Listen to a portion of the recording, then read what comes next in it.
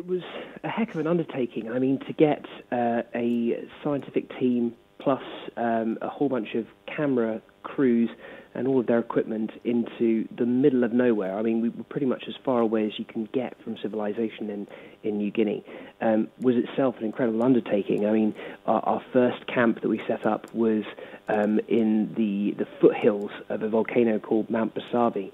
And as the expedition progressed, we got higher and higher and eventually dropped into this uh, extinct volcanic crater in the search of new species of animals. And the, the results were, were pretty spectacular, actually. So there were around 40 new species you discovered. Tell us about some of them.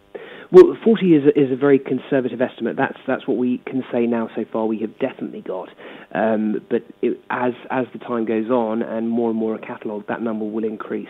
Um, perhaps the, the, the, biggest triumph, I guess, is, is 16 new species of frogs, which, um, believe me, is, is just an incredible finding and really shows quite how rich in, in uh, amphibian life the area we were in is. Um, we've also got um, two species of mammals, at least two species of mammals, one of which is a bat, the other of which is, is just insanely spectacular.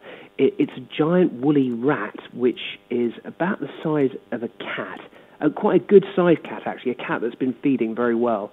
Um, and we found this inside the crater uh, at night, just wandering around, totally unafraid of, of people. Obviously, had never encountered people before, and was quite happy just eating, munching on tubers in front of us as as we studied this this magnificent creature, never before seen by science.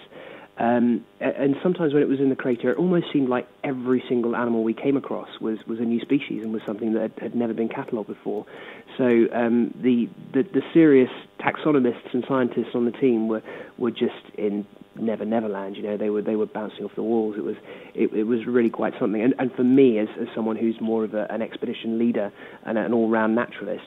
Um, to be in a place that is as special as that, as dramatic as the volcano was, and be finding new things around every corner was was really quite quite something. It, it's very much a sealed ecosystem. I mean, it would be wrong to say humankind has never been in there.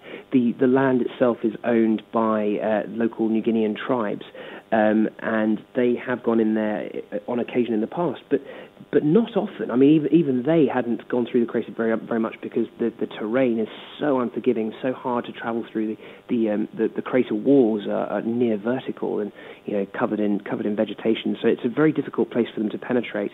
Um, and because of that, it's it's not been hunted. The animals in there um, are, are, totally unafraid of people, um, and it, it did just feel like entering this, I mean, almost like an island, you know, an, an island surrounded by seas that that uh, allows new species to, to, to, generate at an increased rate, uh, and inside the volcano, surrounded by these precipitous crater walls, uh, was very much the same kind of environment.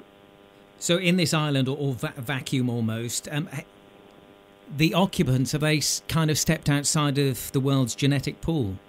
Very much so. I mean, uh, one of the, uh, the, the new creatures that we found um, was only ranked as a new subspecies, uh, which means that genetically it's not different enough from. Uh, it, this was a, a, silky cuscus, a rather bizarre-looking marsupial, well, very bizarre-looking nocturnal marsupial that we found.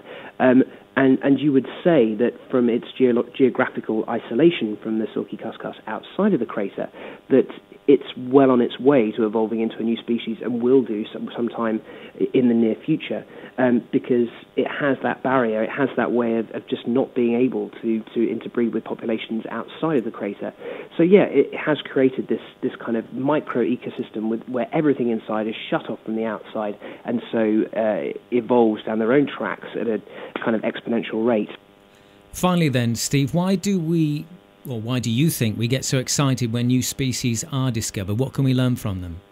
I think for me, it, it really does my heart good to know that there's stuff out there still to be discovered.